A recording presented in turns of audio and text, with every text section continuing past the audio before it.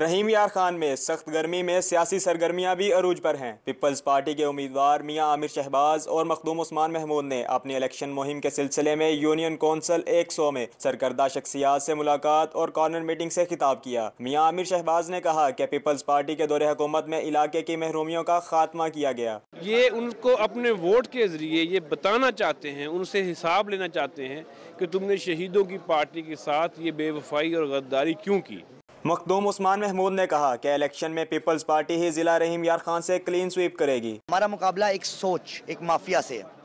اور میں نہیں سمجھتا کہ عوام ہماری باشعور غیور عوام اس مافیا کے ساتھ کھڑی ہو اس کو انشاءاللہ رد کر دیں گے۔ یونین کونسل کے چیئرمین جام شبیر احمد اور وائس چیئرمین رانا تہذیب احمد سمیت تمام شخصیات نے جنرل الیکشن میں پیپلز پارٹی کا ساتھ نبھانے کا وعدہ کیا۔ لڑ رہے ہیں انشاءاللہ لڑ کے دکھائیں گا مخالفوں کو بتائیں گا کیسے الیکشن لڑے جاتے ہیں۔ پیپلز پارٹی کے امیدوار حلقہ این اے ایک سو اناسی اور پی پی دو سو تریسٹھ میں اپنی انتخابی سرگرمیوں کے سلسلے میں یونین کونسل کی سطح پر ملاقاتیں اور کارنر میٹنگز کر رہے ہیں۔ کیمرامین انور سہیل کے ساتھ آسم صدیق، روحی رحیم یار خان۔